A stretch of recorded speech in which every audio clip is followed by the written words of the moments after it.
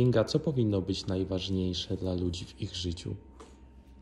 Dla ludzi ich życiu powinno być najważniejsze to, że mają miłość do mamy, do taty, do rodzeństwa, do swojego partnera albo małżonka. I bardzo ważne, mm, trzeba mieć relacje z kimś, bo niestety ludzie po prostu nie nawiązują relacji. A to najgorsze jest to, że bez relacji nie ma jakiejś y, po prostu rozmowy, dialogu, nie jakiegoś y, bycia wywyższającym się człowiekiem.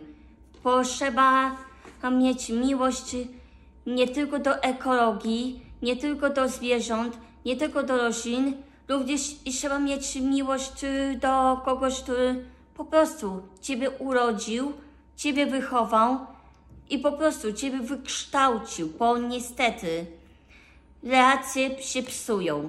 Wszystkie straszne tragedie po prostu dzieją się, po ludziach nie ma relacji, nie ma di- dialogu, a trzeba bez y, gniewu, bez żadnej takiej stricte brutalności tego wszystkiego załatwiać.